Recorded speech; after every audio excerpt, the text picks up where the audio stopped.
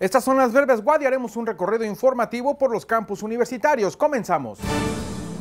Estudiantes de la Facultad de Comercio y Administración Tampico destacaron con el primero y segundo lugar del quinto encuentro universitario de habilidades contables organizado por el Instituto Mexicano de Contadores Públicos en la zona sur del estado. Este año nuevamente ganaron el derecho de representar a la región en la Convención Regional 2019 en la zona noreste de este organismo a celebrarse próximamente en la ciudad de Monterrey, Nuevo León.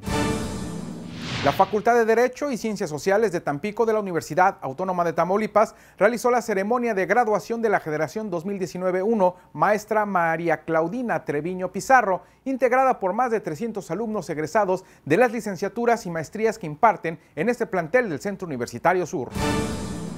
La Universidad Autónoma de Tamaulipas puso en marcha el noveno curso de lenguas de señas mexicanas que se imparte en el campus Victoria dirigido a docentes, estudiantes y personal administrativo de esta casa de estudios. Participan de manera inicial alrededor de 63 personas de diferentes edades que tienen interés en aprender a interactuar con quienes padecen discapacidad auditiva.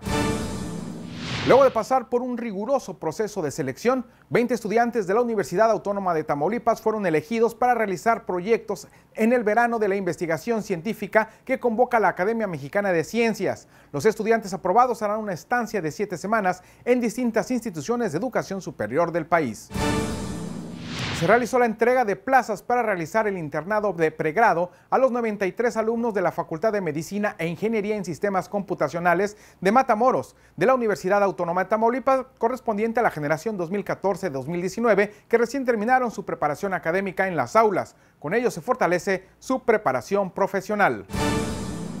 Hasta aquí las breves WAD, continuamos con más información de esta casa de estudios.